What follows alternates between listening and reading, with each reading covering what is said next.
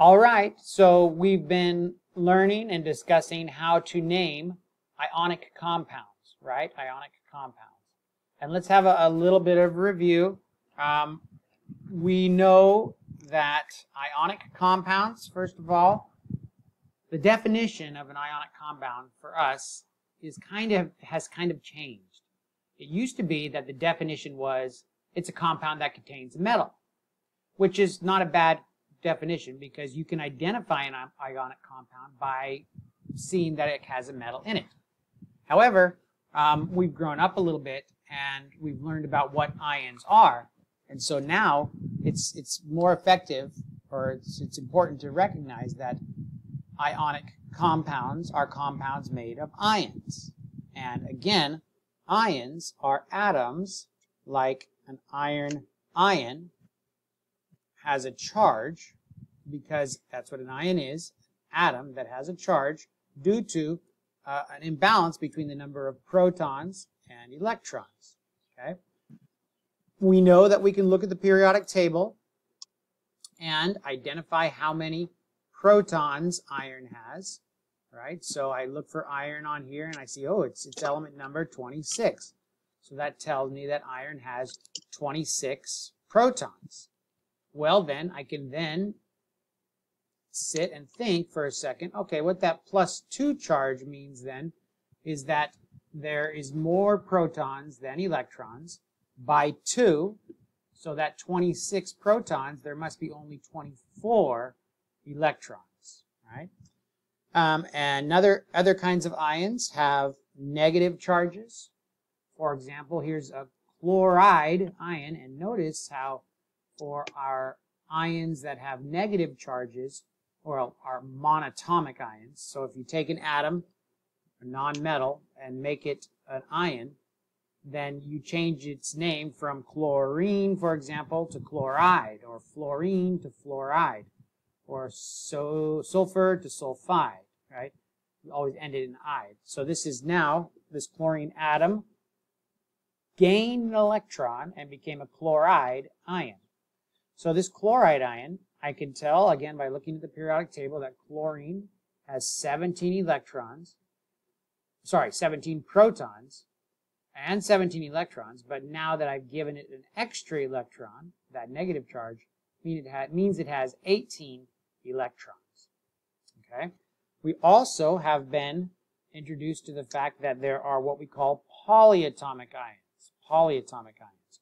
So, for example, uh, this polyatomic ion, nitrate, nitrate, uh, you know, sometimes it's just the name, and when we see the name of a polyatomic ion, it's our job to pull out our polyatomic ion sheet.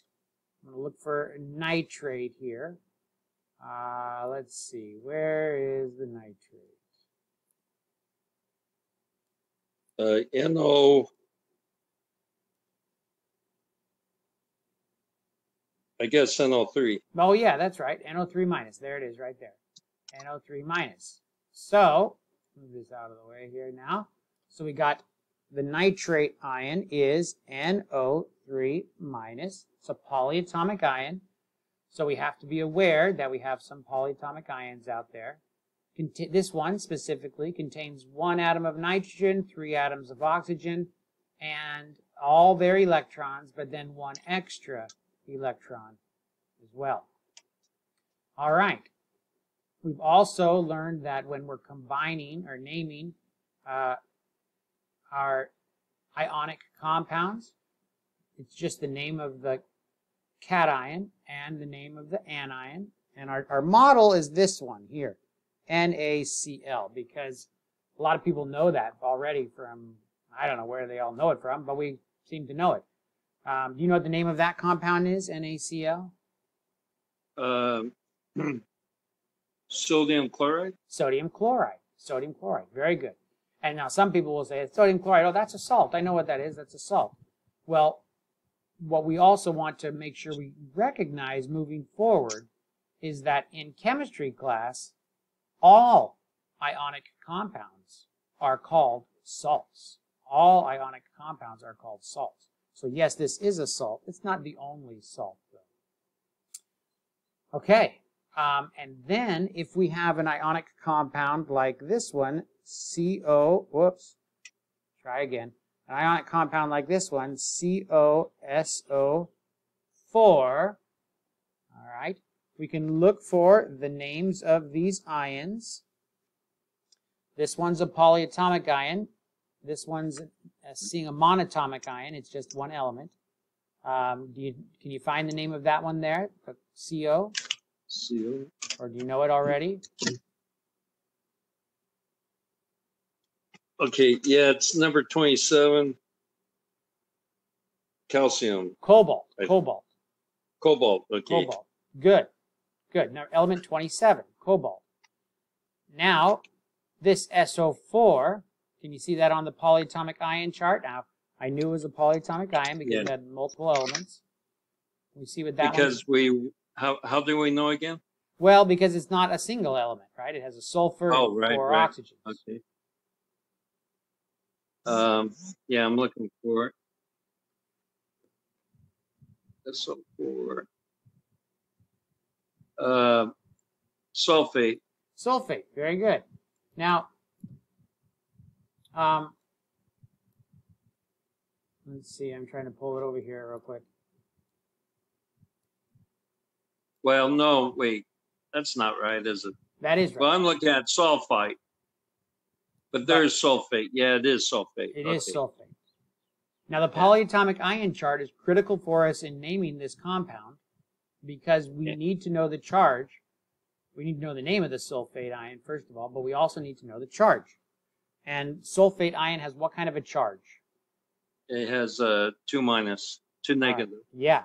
So I'm going to write up here the sulfate ion, the 2 minus charge there. Okay? Okay. And that then helps us know what the charge on the cobalt ion is in this case. What is the charge on the cobalt ion if the sulfate has a 2 minus and in Yep. the compound that they provided for us, it's one cobalt for every sulfate. So that means that the charge on the cobalt must be what? Four?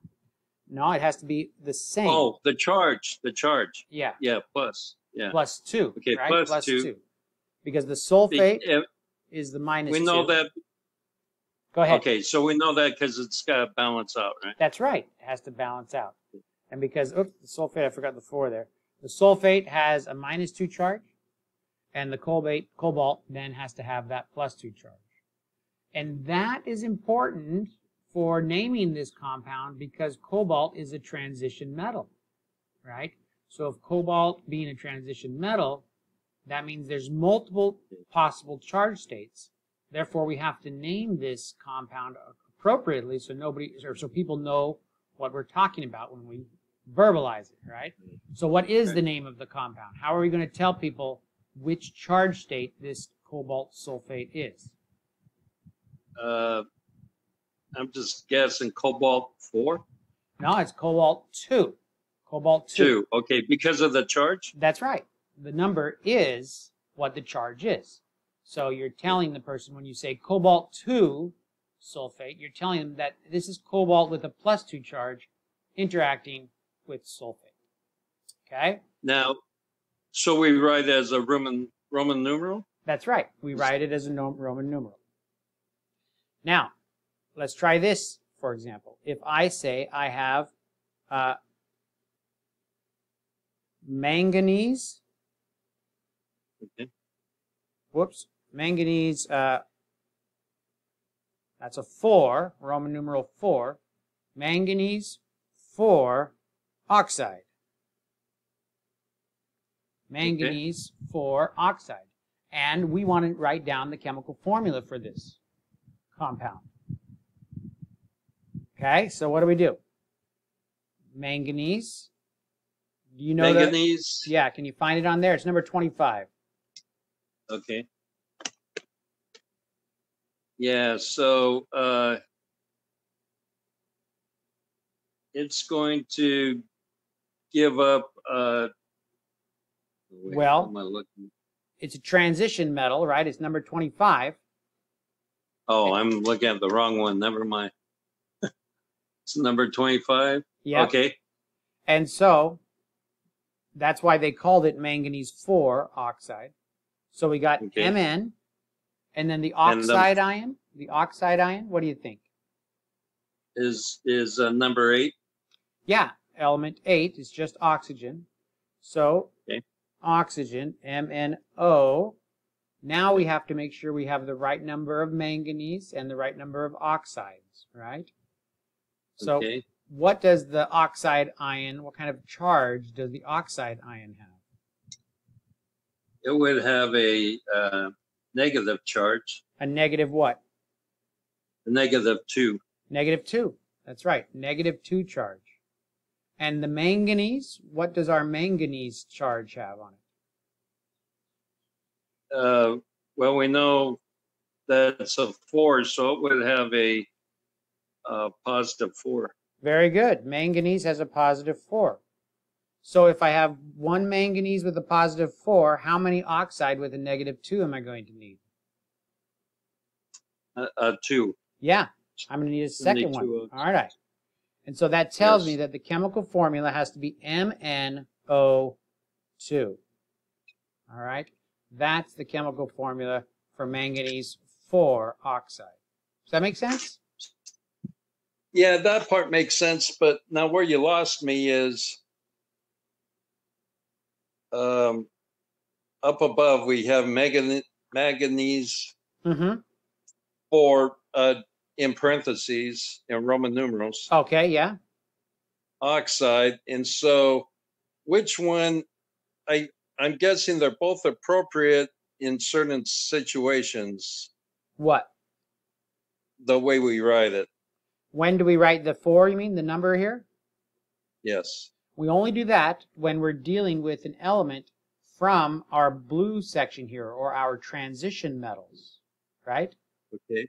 Our transition so- So the one below is was only an example, but but we won't really write it that way, right? Which one? Manganese 4 oxide? Well, the MnO2. That is the that's the same thing. This is the chemical formula for manganese 4 oxide. Right. And so they both mean the same thing, Yes. but I'm trying to figure out which is the appropriate way to write it. Well, if it was a, report, you could write it this way, but you could also write it this way. It doesn't Oh, matter. they're both acceptable? Yeah. I mean, in a chemical reaction, in a chemical reaction, you'd have to have it written as its chemical formula. So you'd have to go MnO2 plus NaC, Na2CO3, for example, right? I'll write that Products here, manganese carbonate, uh, like that, plus Na2O, and then you'd have to balance this, right? So that would be our chemical formula. So you would have to write it out as a chemical formula there. You couldn't Okay. write manganese oxide there, but if you're just writing it on the side of the bottle or whatever, you could do this or you oh, could do that. okay. Oh, gotcha. Okay. Okay, so they're both appropriate, just in a different setting. That's right. That's right. That's right. Okay. Okay, very good. So that's a little review on our uh, naming of ionic compounds, ionic i- ions, right? Good. And you know, we'll we won't remember that forever. We'll have to be reminded every once in a while, but we'll take turns, kind of take t- opportunities to, to to remind ourselves of the name of a given compound and uh, the charge on given polyatomic ions. All right. Now, Now, can I ask you ano- another? yeah, go ahead. It's a review question. So I remember, you know, like you said at first, way back, we said that the iconic, ionic, I'm sorry, ionic uh, compound was a metal and a non-metal. But then later on, you gave an example, and I can't remember what it was, where it was two non-metals. Well, it's not two non-metals, but this is this is Oh. the general example. Okay. NH4Cl, right? So this is a compound that doesn't contain metals. However, that NH4 is an ion. It's an ion. And so you can look on our polyatomic ion sheet and find it up at the top there. NH4, it's the first one on the list. It's called ammonium. Ammonium. Oh, yeah. And so this compound would be called ammonium, and then the Cl ion is the chloride ion, a chloride. chloride. So this would be ammonium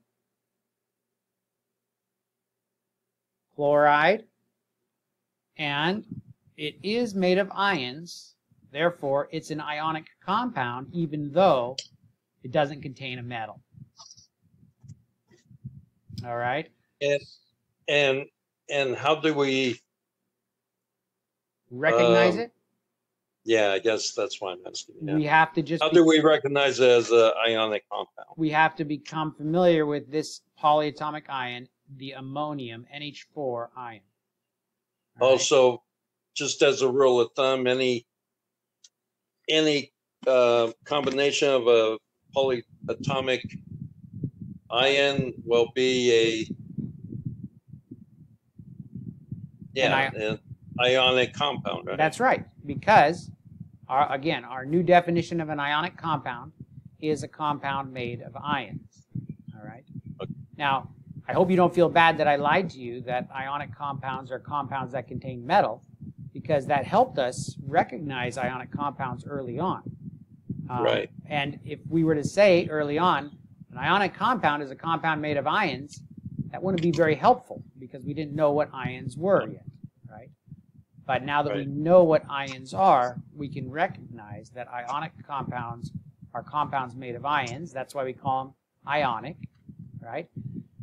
And we're beginning to realize that there is uh, there are compounds made of ammonium, the ammonium ion, and that is an ion as well. So therefore, compounds made of that ion are also ionic compounds. Okay, Okay. good question. Now, do we have to balance that? Well, we would have to balance it, except for what's the charge on the ammonium ion? Uh, okay, it's uh, plus. Plus one. You always have to say the number on that charge. So it's Okay, plus I didn't. Okay, all I saw was a plus up here. And what's the charge on the chloride one. ion? On the what? The chloride ion. Oh, yeah, that one I have to figure out. Use the periodic table. Yeah. Okay, that would be uh minus one. Minus one. There we go. So it's it's already no wait, let's see. So since we have four, That no, four. it's balanced. Yeah, it's balanced. already. Good. Yeah, That hydrogen is that four is with that hydrogen. Yeah. okay. Very good. But here's one because you asked such a good question. I'm going to give you another question, another problem to work on here. Uh, what is the chemical formula? All right, we're looking for the chemical formula now. What is the chemical formula for ammonium carbonate? What's the chemical formula for ammonium carbonate? So NH NH4 NH4 is the ammonium. Very good. And then carbon. and we use carbon so so much that uh I should know this, but well, um, there's I can't. it's not just carbon on the periodic table. Oh, Carbon on it's the not. Oh, carbonate. So yeah. okay, it's in the back then.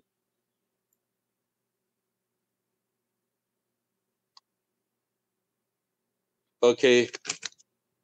So C CO three Very good. with with With- a minus two charge. That's right. a Minus two charge.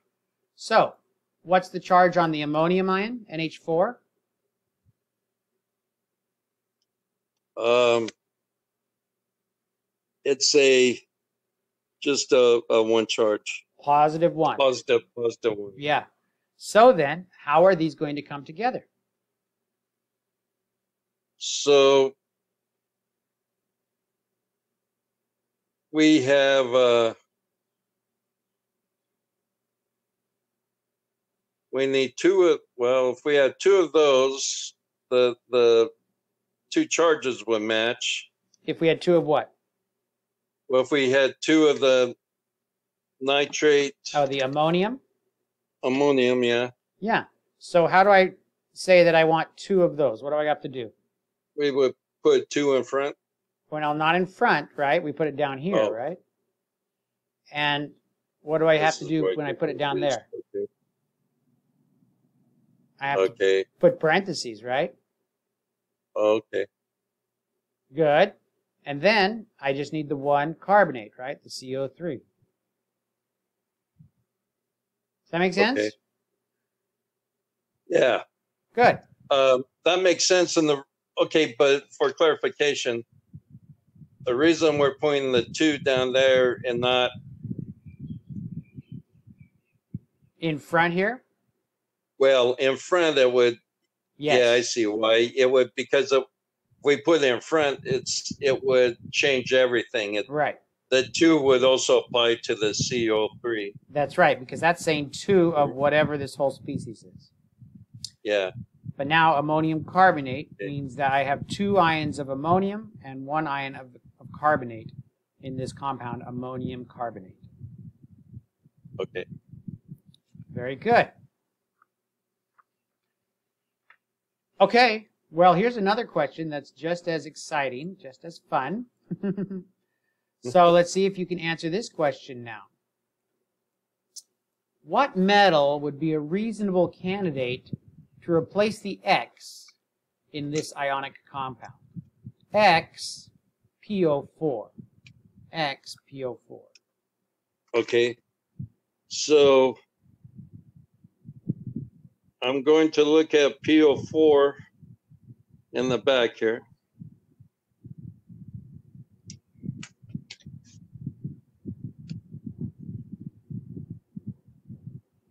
Yeah, our polyatomic ion chart there. And that would be, yeah, and that would be phosphate. So that's a phosphate ion with the minus two charge. Minus two, is that what that says, or can you see it? So I think it's I a can't minus tell three. my- It's a minus three. Yeah, it is minus three. PO4 with the minus three charge. Okay. So which of these metals, and we can try to find them on the periodic table and make that decision, which of these metals would have a plus three or could have a plus three charge? Could magnesium have a, a plus three charge? Uh, magnesium, no, uh, no, it, it would have what kind of a charge? uh, it would have a, um, a minus charge. It would have a plus two charge. Magnesium, you see it number 12? Oh, I'm. Oh, there it is. Okay. Yeah. Yeah, it would have a, right. Good. Yeah, because it would have to give up two electrons. That's right. How about sodium? What kind of a charge would sodium form?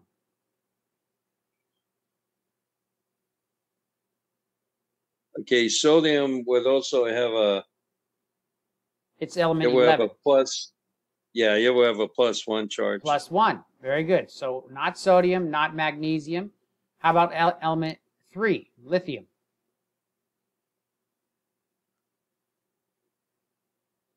Okay, and lithium will also have a, a minus one. A plus 1, right?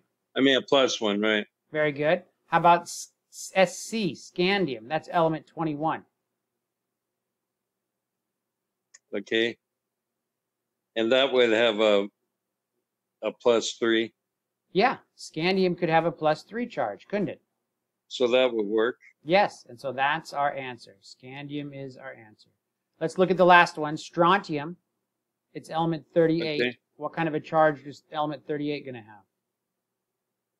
It would have a, a plus two. A plus 2. Outstanding. Way to go. So, So- let me ask you this question. Yeah. Uh, because we could do this in increments of one, right? Uh huh.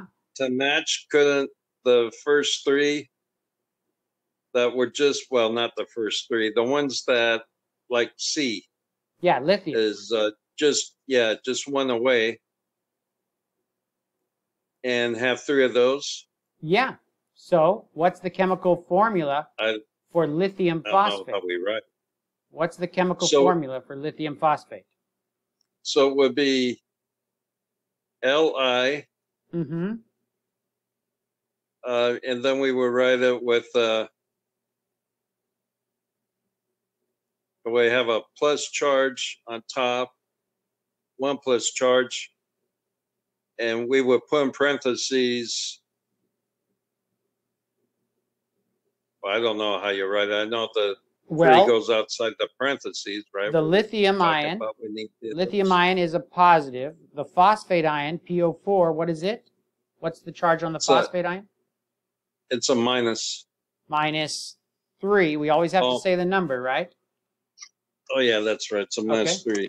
Minus three. And that's our, our Okay. uh, polyatomic ion chart. Don't be afraid to Right.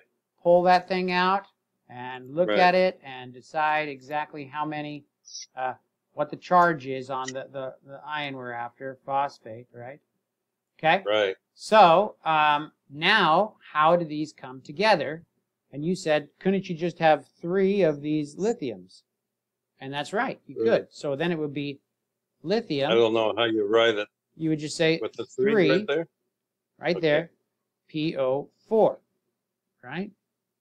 Okay. And that would be our chemical formula. And again, the three is telling us that I have three lithiums here. And there's only one phosphate, right? I don't need the parentheses because the number down there only applies to that element. So I don't need the parentheses. The parentheses are when we're Right, look, I see. dealing with, with clusters or polyatomic ions like that. Right. So so if we were dealing with the what was the PO4 again? The phosphate? Yeah. It's a phosphate. Uh-huh. Uh and we were going to have like two of those, then we would print put two in parentheses next to the four. Well, let's try this one. What is the chemical formula for magnesium phosphate? Okay. So phosphate by itself, we said was uh, PO four with Yep. a minus three, Good. minus three charge, right? And then magnesium. To flip this again. Is uh that's twelve, right? That's number uh twelve on the periodic. yeah, element number 12. Good. Okay, so then that would have a plus two charge. Very good. Magnesium has a plus 2 charge. Now, how are these elements going to, or how are these ions going to come together so that they can balance each other out? Now, will we, will we do the cross at Yeah. this point? The Yeah, we can do the uh, crisscross. You can always do the crisscross, right? Okay, so then we will put the two in parentheses uh, by the four on the, I know I'm doing this kind of Yeah. Okay. backwards, okay? And then we would have the magnesium and, uh, with the three underneath. Very good. That's it. That's our chemical formula for magnesium phosphate. And just a reminder, we don't need to say magnesium 2 phosphate here, like we didn't have to say lithium 1 phosphate, because lithium and magnesium are representative elements, right? They're here Okay. in these first two columns. There's only one charge state that they can have when they form ionic compounds elements in this So- transition metals, these are the ones that might have additional charge states. Okay, Okay, very good. All right, so um, now let's turn our attention to naming molecular compounds. Naming molecular compounds. Okay. Okay. Um, Can, can yeah. we pause for just a second? Sure, sure. All right, good stuff. So, naming molecules, molecular compounds. All right, now molecules, we can recognize a molecule because it has no metals in it. It's made up of just nonmetals. And again, we call them molecules because they are molecular in nature. But that's lame because if you don't know what molecular refers to, then who cares that you understand that molecules are molecular in nature? Molecular means that they go around in their little clusters of the packets that the chemical formula indicates. So for example, a molecule of water is just that. It goes around as oxygen and two hydrogens, and that is its active unit. That's the unit that interacts with uh, other compounds, right? Um, H2O2, another compound, right? Uh, hydrogen peroxide, right? Um, it goes around in its little units like that, two oxygens and two hydrogens. All right, so these are molecular compounds. We can easily identify molecular compounds because they don't have metals in them. But we want to be able to name them because, and, and the reason why we have a, a different naming method, and it's not completely different, we're still using the names of the elements, but the reason why we kind of need uh, a different naming um, method is because uh, if I combine carbon and oxygen together, I might say, well, I can just call it carbon oxide, like we did with the ionic compound. The problem is you can get that and you can have that.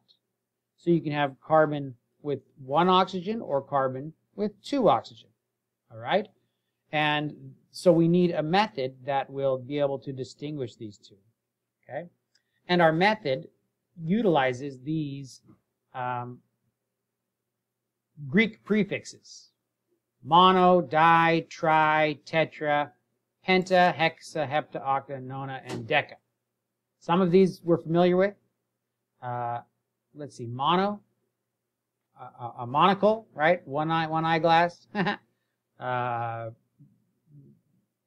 a monocycle, a unicycle. They call it a unicycle. They don't call it a monocycle, do they? What's another one for mono? Mm, I don't know. I feel like there's another one that I'm, I'm missing. But I think that that's pretty straightforward. People don't generally forget mono. And di, I think that that one's also pretty straightforward. Tri, tricycle, right? Tetra is less straightforward. Do you have any way of thinking that you can remember tetra? Uh, just, just the video game, but that's going back some years. That's right, the video game. What's the name of that video game? I don't know. Tetris. Tetris. Tetris is the name of the video game. And, you know, it's just a little video game where blocks come down and they're all in combinations of different uh, fours, right? Blocks, different block, different blocks with four units in them. So, it's good to learn how to play Tetris just so that you can remember that tetra refers to four. Penta, people generally are pretty familiar with a, a pentagon, the shape of a pentagon. And hexa, people are generally pretty familiar with a, a hexagon. So five and six aren't hard to remember. Hepta is a little bit hard to remember. Um, it's seven, but we don't really talk about heptagon or anything like that. Octa, octopus, that's pretty easy to remember. Uh, nona, not as easy. Maybe you can remind yourself of nano, which was 10 to the minus ninth nanometers for every, or 10 to the minus ninth meters for every nanometer, or 10 to the ninth nanometers for every meter, right? So that's one way. Deca, that's easy for people generally. Decade or decimal, okay? I'll tell you now how I remember hepta and nona, which are the two that we really don't have something good to remember. Um, uh, what I use to remember hepta is I use the month September because septa and hepta come from the same prefix. Uh, October, eighth month. Uh, November is the ninth month. Well, it used to be the ninth month before two more months were added to make it 12 months. We used to have a 10 month calendar. But that's where the month titles came from October, November, sorry, September, October, November, December, right? Seven, eight, nine, and 10. Seventh month, eighth month, ninth month, and 10th month. Uh, they got shifted back a couple months when, again, they shifted from a 10 month calendar to a 12 month calendar and put in July and August, which was Julius and Augustus Caesar. So months were named after July, Julius Caesar and Augustus Caesar. Um, and, you know, it fit the seasons better for most of the world. So we used a, a 12 month calendar. Um, but Septa, September, became the ninth month instead of the seventh, and November became the 11th instead of the ninth. So that's how I remember Hepta, by remembering September used to be the seventh month, and Nona because November used to be the ninth month, or the uh, yeah used to be the ninth month. Okay. Whatever it takes, um, we'll try to remember these Greek prefixes because they're necessary in naming molecular compounds. Another name for molecular is covalent. Covalent. We'll talk about that word covalent more in the future. So we don't really refer to them a whole lot as covalent molecules, but you might have questions where they talk about covalent compounds. And so um, a molecular compound can also be kind of taught in terms of covalent compounds. The, the term covalent essentially means co, same, valence, and it's referring to how they like to attain a noble gas electron configuration. So the valency of a molecule or of an atom, the valency of an atom is referring to what it does to attain a noble gas electron configuration. And for covalent atoms, that means those two atoms want to do the same thing. So carbon, oxygen, nitrogen, chlorine, they all want to gain electrons? So covalent molecules are going to be made up of molecules which do the same to attain a noble gas electron configuration. All right, so here is an example of a compound, hydrogen chloride it contains hydrogen. It contains chlorine. There's no need to put a mono in front of these because there's just one of them. So hydrogen chloride, its chemical formula is HCl. Phosphorus pentachloride. Phosphorus pentachloride. What are the two elements here, Walt? What are the two elements? Uh, phosphorus. Phosphorus and and then uh, chloride. Chloride. Very good. And the penta goes with the chloride. So how many chlorines are we going to have? Five. Five. So PCl5 is phosphorus pentachloride. Good. Triselenium. Okay. Yeah, question? Uh, yeah, so the five is going to reflect on The chloride. Back on, well, I see the five on chloride, but uh, right there, is that five CO? Yeah, PCl5. PCl5. Oh, okay. It, it okay. Phosphorus is S. Is that five there or the the phosphorus? That's, I see one P. Yeah, that's one P and then Cl, and then there's five Cls. Oh, that that five. Oh, five Cl. Oh, okay. That's okay. a five in front of the Cl, showing us that I have one phosphorus, five chlorine. They're going to come together. To okay, and then that's the final one. Okay, yeah, got it. PCl5. Okay, what do you think? What's the chemical formula going to be for triselenium dinitride? Triselenium dinitride. Okay.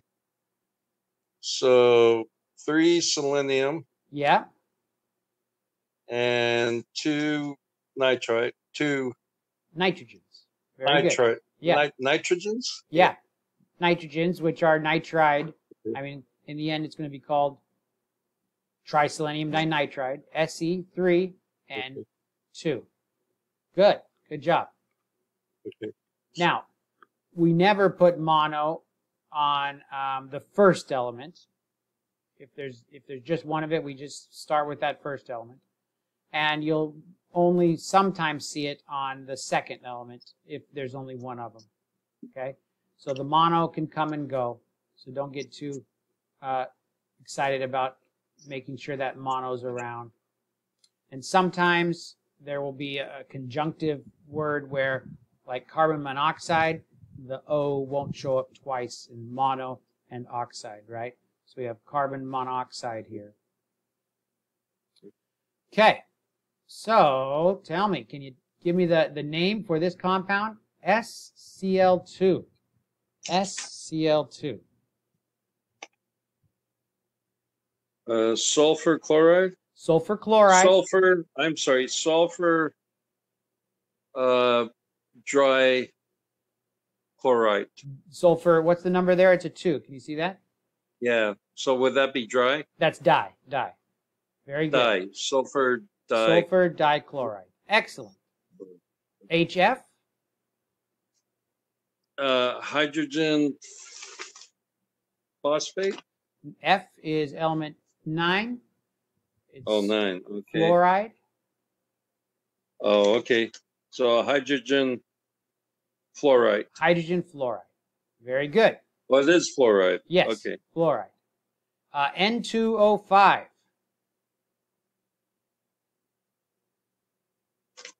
Let's see. N is nitrogen. O is oxygen. So we've got two uh, nitrogens, N2. Okay. Yeah. Di nit Good. nitrogen, Dinitrogen. and then uh, penta uh, oxide. Very good. Very good. Excellent job. Dinitrogen pentaoxide. All right. That's probably good for today. Okay. Okay.